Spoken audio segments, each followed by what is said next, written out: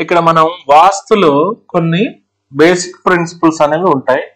అవి ninety nine percent అందరికి maximum idea ఉంటుంది తెలుసు.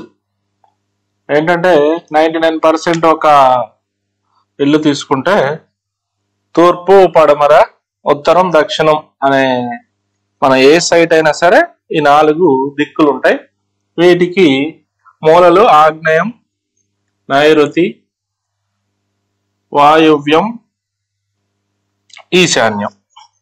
ఇవి మూలలు ఉంటాయి ఇందులో ఇల్లు ఎప్పుడు ఏ ఇటువైపు ఏ పేసింగ్ ఏ రోడ్డు ఉన్నా కానీ మనం ఖచ్చితంగా నైరుతి మూలగా ఇల్లును నిర్మించుకోవాలని నైంటీ నైన్ పర్సెంట్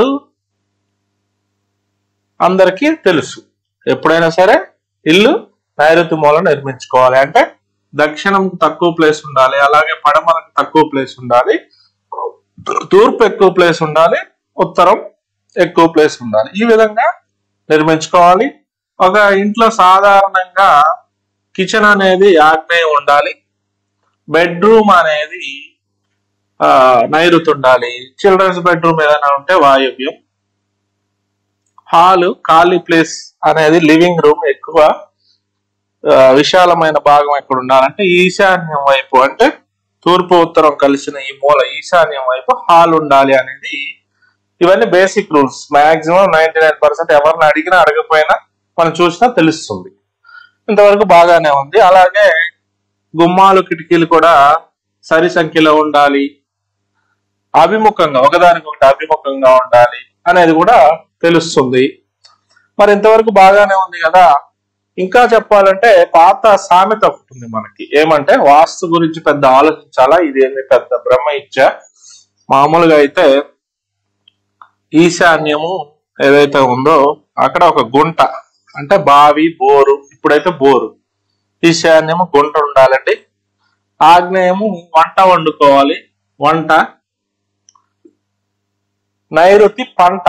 పంట అంటే గతంలో పంట ఇప్పుడైతే ఏదైనా బరువులు ఉంచే ప్రదేశం నైరుతి అనుకోవచ్చు. అంటే మనకి పంట పండి ఇంటికి వచ్చిన ఏదైనా కొన్ని నిల్వ చేసుకోవడానికి నైరుతి అని చెప్పేవాళ్ళు గతంలో. ఇప్పుడైతే బరువులు నైరుతిలో ఉంచుకోవాలని అర్థం. తర్వాత వాయువ్యంలో పెంట. పెంట అంటే బాత్రూమ్స్. లెట్రూమ్స్ బాత్రూమ్స్ అనేవి వాయువ్యంలో కట్టుకోవాలి. ఇది జనరల్గా ఈశాన్యంలో ఒక గుంట ఆగ్నేయంలో వంట నైరుతిలో పంట వాయువ్యంలో పెంట అని చెప్పి ఇదొక సాధారణ నానుడి ఉండేది. ఈ ఇంతవరకు అందరికీ తెలుసు. మరి ఇందులో గొప్ప ఏముంది అంటే ఇదంతా కూడా సాధారణంగా తూర్పు రోడ్డు ఉన్న వారికి తూర్పు రోడ్డు ఉంది కదా బాబు మా స్థలానికి మేము ఒక ఇల్లు కట్టుకోవాలంటే హాయిగా ఈ వాస్తు ప్రకారం ఇక్కడ ఈశాన్యం గుమ్మం పెట్టు గేట్ పెట్టుకుంటాం. ఇక్కడ హాల్ కూడా ఈశాన్యం గేట్ పెట్టుకుంటాం గుమ్మం పెట్టుకుంటాం. ఈ విధంగా ఇక్కడ ఒక బోర్ వేయించుకుంటాం. ఇక్కడ ఆగ్నేయంలో మెట్లు స్టెప్స్ ఏర్పాటు చేసుకుంటాం. ఇటువైపు బెడ్రూమ్ ఏర్పాటు చేసుకుంటాం. ఇటువైపు వాయువ్యం మూల ఇక్కడ బాత్రూమ్స్ ఏర్పాటు చేసుకుంటాం. Outside bathrooms. ఇంతవరకు బాగానే ఉంది. ఇది తూర్పు సంగతి. తూర్పు ప్లేస్ ఉన్న వారికి పెద్దగా వాస్తు గురించి ఇబ్బందులు రావు. తెలుసుకోవాల్సిన అంతా లోపాలు ఉండవు. కానీ అక్కడ ప్రాబ్లం ఎక్కడ వస్తుందంటే ఒకవేళ మాకు పడమర వైపు వీధి ఉన్నది రోడ్డు ఉన్నది అంటే ఈ ప్లేస్ అనేది ఫేసింగ్ అనేది పడమర వైపు ఉన్నది అంటే అక్కడ వస్తుంది సమస్య అంతా. ఎందుకంటే ఇక్కడ ఫేసింగ్ రోడ్డు ఉంది కదా అని చెప్పి ఇక్కడ నైరుతి మూలలో గేట్ ఏర్పాటు చేసుకోకూడదు. మరి పడమర మధ్య భాగంలో ఏర్పాటు చేసుకోవచ్చు కొంతవరకు కరెక్టే. హండ్రెడ్ పర్సెంట్ అంటే ఇంకా వాయువ్యంలోనే ఏర్పాటు చేసుకోవాలి.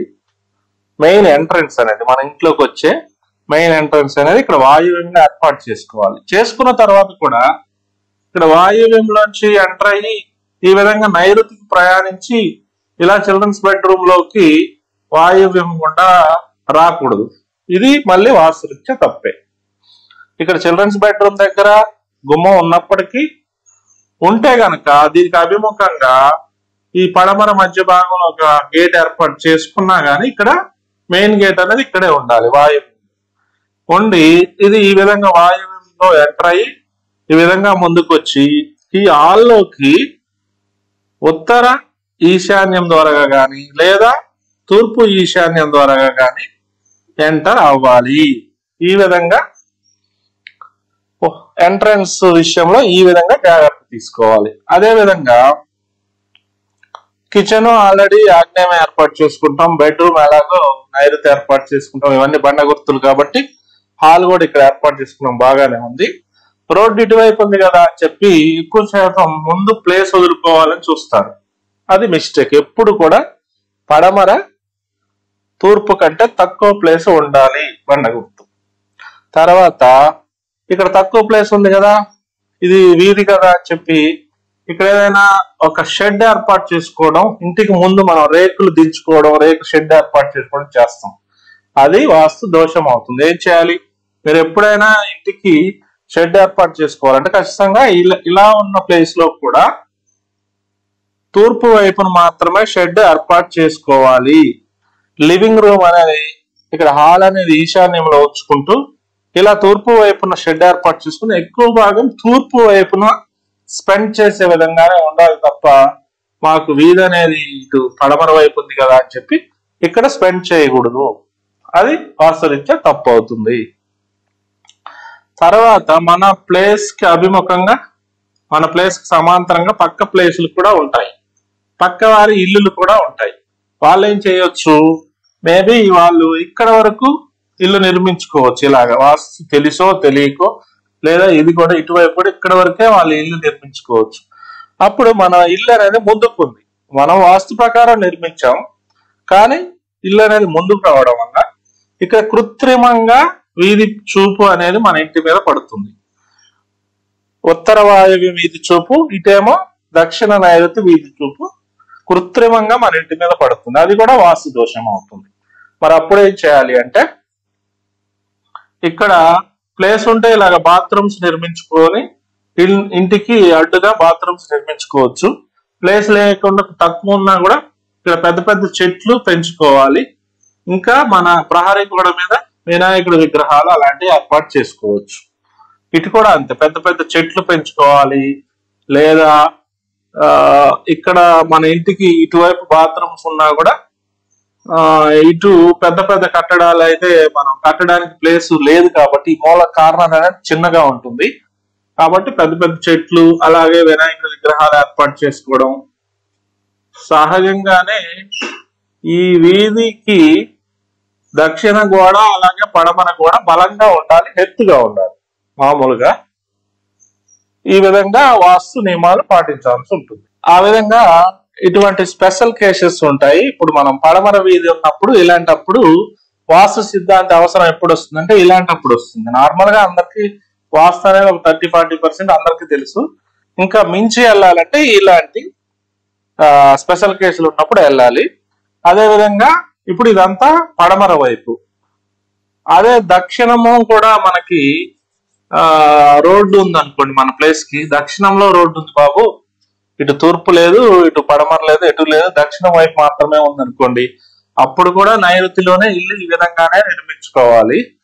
కానీ ఎంట్రన్స్ అనేది ఇక్కడ దక్షిణ ఆగ్నేయం మాత్రమే ఎంట్రన్స్ ఉండాలి. లేదా దక్షిణ మధ్య భాగంలో కూడా పెట్టుకోవచ్చు. పెట్టుకున్నప్పటికీ కూడా దక్షిణ ఆగ్నేయంలోనే మెయిన్ ఎంట్రన్స్ అనేది ఉండాలి. ఈ విధంగా తూర్పు ఈశాన్యం లేదా ఈ విధంగా ఉత్తర ఈశాన్యంలో కూడా ఎంటర్ అవ్వచ్చు తప్ప మాక్సిమం తూర్పు ఈశాన్యంలో ఎంటర్ అవ్వచ్చు. మిగిలితే ఉత్తర ఈశాన్యం. కానీ దానికి కూడా దక్షిణ ఆగ్నేయం నుంచి మాత్రమే ఎంటర్ అవ్వాలి. అదేవిధంగా ఇక్కడ ఇటువైపు రోడ్డు ఉన్నప్పుడు కూడా సేమ్ మన ప్లేస్కి ఇటువైపు వేరే ప్లేస్ ఉంటుంది. పడమరలో ఇటువైపు తూర్పులో ఇంకొక ఇల్లు ఉంటుంది కాబట్టి వాళ్ళు కూడా ముందుకు రా వెనక్కి కట్టుకోవచ్చు. వాళ్ళు కూడా ఇలా వెనక్కి కట్టుకుంటే మన ఇల్లు మళ్ళీ ముందుకు ఉండి కృత్రిమ వీధి చూపు ఏర్పడుతుంది. ఇక్కడైతేనేమో నైరుతి పడమర నైరుతి వీధి చూపు ఇటైతేనేమో తూర్పు ఆగ్నేయం వీధి చూపు. ఈ రెండు కూడా ప్రమాదం. తూర్పు ఆగ్నేయం ప్రమాదమే అలాగే పడమర నైరుతి ప్రమాదం. వీటికి కూడా ఇక్కడ పడమర గోడ బలంగా కట్టుకోవాలి. ఇక్కడ ఏదైనా పెద్ద పెద్ద వృక్షాలు చెట్లు ఏర్పాటు చేసుకోవచ్చు. తర్వాత ఇక్కడ వినాయకుడి విగ్రహాలు ఏర్పాటు చేసుకోవచ్చు. అదేవిధంగా ఇటు తూర్పు ఆగ్నేయం కూడా అంతే. తూర్పు ఆగ్నేయం కూడా మంచి వీధి పోటు కాదు కాబట్టి ఇదంతా ప్లేస్ ఉంటుంది కాబట్టి మాక్సిమం ఇక్కడ మనం అవుట్ సైడ్ బాత్రూమ్స్ ఏర్పాటు చేసుకుంటాము. ఆగ్నేయం కాబట్టి పెద్ద పెద్ద చెట్లు ఎక్కడైనా పెద్ద పెద్ద చెట్లు పెంచుకోవడం అనేది నార్మలే. ఇక్కడ కూడా వినాయకుడి విగ్రహాలు మన ప్రహరి గోడ పైన ఏర్పాటు చేసుకోవచ్చు. ఈ విధంగా దక్షిణం గో రోడ్డు పేసింగ్ అయితే కనుక పడమర పేసింగ్ అయినా కొన్ని సమస్యలు వస్తాయి. దక్షిణ ఫేసింగ్ అయినా కొన్ని సమస్యలు వస్తాయి. అలాగే ఉత్తరం ఫేసింగ్ చూస్తే కూడా ఉత్తరం ఫేసింగ్ ఉంటే గనక ఇక్కడ ఉత్తర ఈశాన్యం నుంచి మెయిన్ ఎంట్రన్స్ ఏర్పాటు చేసుకుంటాం. ఈ విధంగా తూర్పు ఈశాన్యం కానీ ఈ విధంగా ఉత్తర ఈశాన్యం నుంచి కానీ మనం ఎంటర్ అవుతాం ఇంట్లోకి. ఉత్తర ఈశాన్యం. ఇది కొంత పర్వాలేదు. తూర్పుకి ఏ విధంగా మనం ఇల్లు తూర్పుకి రోడ్డు ఉంటే ఏ విధంగా నిర్మించుకుంటామో ఉత్తరంకి రోడ్డు ఉన్నా కూడా అదే విధంగా నిర్మించుకొని అదే సూత్రాలను పాటించవచ్చు. కొంతవరకు పర్వాలేదు.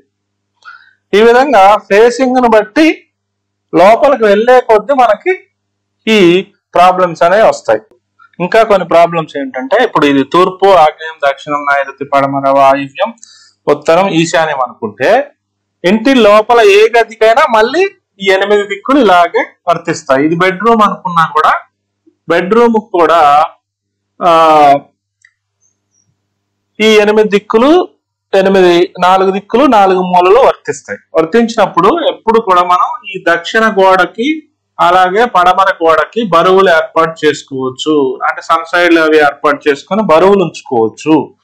ఇటువైపు ఈ ఆగ్నేయం దిశలో గాని లేదా ఇక్కడ వాయువ్యంలో గాని బాత్రూమ్స్ అటాచ్డ్ బాత్రూమ్స్ ఏర్పాటు చేసుకోవచ్చు. ఎంట్రన్స్లో ఈశాన్యము తూర్పు ఈశాన్యం లేదా ఉత్తర ఈశాన్యం ఎంట్రన్స్లు ఇచ్చుకోవచ్చు.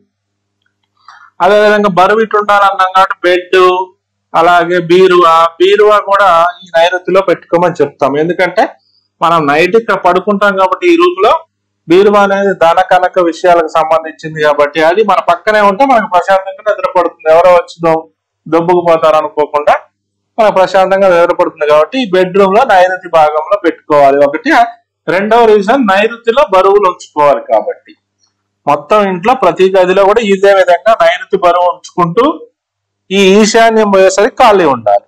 వాయువ్యము ఆగ్నేయంలో కొంత బరువులు పెట్టుకొని నైరుతులు ఎక్కువ పెట్టుకొని ఈశాన్యం పోయేసరికి ఖాళీ ప్రదేశం ఉంచుకోవాలి. అలాగే పూజా మందిరం కూడా ఈ తూర్పుకి తూర్పు గోడకు పెట్టుకోవడం ఈ ఈశాన్యం వీలైనంత ఖాళీగా ఉంచుకోవడం ఈ హాల్లో కూడా ఇది మళ్ళీ దక్షిణ గోడ పడమర గోడ అవుతుంది కాబట్టి ఇక్కడ సోఫా సెట్లు అలాగే వేసుకొని మనం కూర్చోవడం.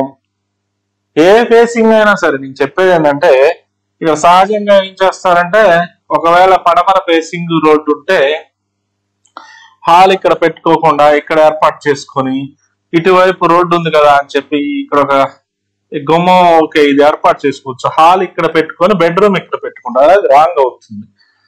మళ్ళీ లివింగ్ రూమ్ అనేది ఇక్కడ ఈశాన్యంలోనే పెట్టుకొని ఈ తూర్పు గోడకే ఒక టీవీ లాంటిది ఏదైనా ఉన్నప్పుడు ఇటువైపు తూర్పు తిరిగి మాత్రమే ఇలా ఎక్కువసేపు లివింగ్ అనేది ఈ ఈశాన్య గదిలో ఉండటం పాస్వరిచ్చే కరెక్ట్ అవుతుంది. అంటే బరువులు విషయానికి వస్తే నైరుతి ఎక్కువ బరువులు ఈశాన్యం తక్కువ బరువులు. తర్వాత గుమ్మాల కిటికీలు సరి సంఖ్యలో ఉంటూ ఒకదానికొకటి అభిముఖంగా పెట్టుకోవాలి. వీలైనంత ఎక్కువగా నైరుతి నుంచి ఎటువంటి గాలులు రాకుండా వాతావరణం వెలుగు రాకుండా కూడా కిటికీలు గుమ్మాలు తక్కువ ఉండాలి నైరుతి గదికి. నైరుతి గోడ మూసి ఉండాలి. ఈశాన్యం గోడ దానికి ఆపోజిట్ తెరిచి ఉండాలి. అంటే ఎక్కువ గుమ్మాలు కిటికీలు ఈశాన్యం లేదా తూర్పు ఉత్తర గోడలకు పెట్టుకోవచ్చు. అదేవిధంగా దక్షిణ నై పడమర గోడలకు నైరుతి భాగానికి గుమ్మాల కిటికీలు జాగ్రత్తగా పెట్టుకోవాలి పెట్టుకోకపోవడం మంచిది. ఎందుకంటే ఇటు నుంచి గాలి మనకు అవసరం లేదు. ఇటు నుంచి మాత్రం గాలి అలాగే సూర్యరశ్మి కూడా కావాలి. ఈ విధంగా పాటించవచ్చు. డ్రైనేజ్ వ్యవస్థ. ఫర్ ఎగ్జాంపుల్ డ్రైనేజ్ వ్యవస్థ ఇంట్లో ఎక్కడైనా నైరుతి నుంచి మొదలుకొని ఇటువైపుగా ఈశాన్యం వైపుగా బయట నీరైనా సరే వర్షపు నీరైనా సరే లాస్ట్కి ఈశాన్యం వైపు రావాలి. ఈశాన్యం వైపు వచ్చిన తర్వాత మరి ఇక్కడ ఈశాన్యం నుంచి యువతల వాళ్ళ ఇంట్లోకి వదిలేయలేం కదా? వీటిని ఒక పైప్ లైన్ ద్వారా మళ్ళీ మనకి ఇటు పడమర రోడ్డు ఉంది కాబట్టి వాయువ్యం గుండా మన అవుట్ సైడ్కి వాయువ్యం గుండా పంపించవచ్చు పైప్ లైన్ వేసుకొని. అదే దక్షిణం రోడ్డు ఉంటే దక్షిణం రోడ్డు ఉన్నా కూడా నీరంతా ముందు ఈశాన్యంకి రావాలి. తర్వాత ఇలాగా ఆగ్నేయం ద్వారా పంపించాలి. అంతేగాని ఇక్కడ రోడ్డు ఉంది రోడ్డు యొక్క డ్రైనేజ్ వ్యవస్థ ఇక్కడ ఉందని చెప్పి డైరెక్ట్గా నైరుతి నుంచి ఇటు పంపించకూడదు. ఇక్కడ కూడా డైరెక్ట్గా నైరుతి నుంచి ఇటు వాటర్ అనేది నైరుతి నుంచి ఎంటర్ బయటికి అవ్వకూడదు మన ఇంట్లోంచి. ఇక్కడ ఏ గోతులు గో గోయులు కానీ నీరు ప్రవాహం కానీ నైరుతిలో లేకుండా చూసుకొని మె- మెరక ప్రదా- ప్రదేశం ఉండాలి. తర్వాత సెప్టిక్ ట్యాంక్ గుంతలు ఎప్పుడు కూడా ఏ బేసింగ్ అయినా సరే ఖచ్చితంగా ఇప్పుడు ఈ ఉత్తరం ఉంది కదా మన ప్లేస్ని తొమ్మిది భాగాలు చేసినట్లయితే ఇటు రెండు ఈశాన్య భాగాలు ఇటు రెండు వాయువ్య భాగాలు పోయిన తర్వాత మధ్యలో ఉన్న ఐదు భాగాలు ఉత్తర భాగాలు అంటారు. ఈ ఉత్తర భాగం యొక్క గోడకి పక్కనే ఇక్కడే సెప్టిక్ ట్యాంకులు తీసుకోవాలి లేదా తూర్పు భాగంలో కూడా సెప్టిక్ ట్యాంక్ తీసుకోవచ్చు. ఈ రెండు ఏరియాల్లోనే సెప్టిక్ ట్యాంక్ ఏర్పాటు చేసుకోవాలి. ఎందుకంటే ఎటు బేసింగ్ ఉన్నా సరే ఇక్కడ మాత్రమే ఈ గుంతలు తీసుకోవాలి. పొరపాటుని దక్షిణం గాని పడమర గాని తీసుకుంటే చాలా వాస్తు విరుద్ధం. ఈ విధంగా లోపలికి వెళ్తున్న కొద్దీ సమస్యలు అనేవి మనకి వాస్తు పండితుల యొక్క సలహాలు సూచనలు కావాల్సి వస్తుంది. ఆ విధంగా మీకు ఎటువంటి వాస్తు సలహాలు కావాలన్నా మేము అందిస్తాం.